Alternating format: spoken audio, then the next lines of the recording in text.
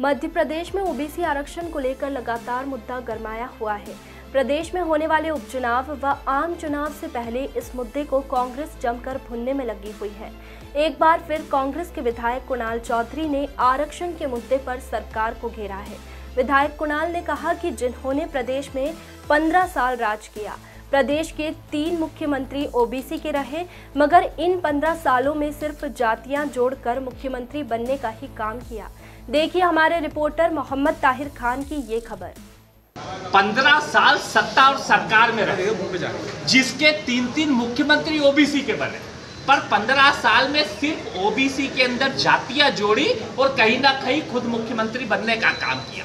पर आज जब कांग्रेस की सरकार आई, माननीय कमलनाथ जी के नेतृत्व में कांग्रेस की सरकार ने ओबीसी को सही अधिकार दिया, चौवन प्रतिशत आबादी को 27 प्रतिशत आरक्षण देने का काम किया, तब कोर्ट में इसका विरोध भारतीय जनता पार्टी ने किया, सदन के अंदर विरोध भारतीय जनता पार्टी के नेताओं ने किया, और आज जब पता पड़ा कि ओबीसी जातियाँ अपने अधिकार के लिए एक एकमात्र है तो सिर्फ़ मुँह चलाने का काम कर रहे हैं बड़ी बड़ी बातें कर रहे हैं। तब कहा गए थे, जब पंद्रह साल सत्ता और सरकार सरकार में बैठे थे और देश में भी आपकी सरकार थी, प्रदेश में आपकी सरकार थी, तब भी प्रदेश के ओबीसी के वर्ग के साथ धोखा किया।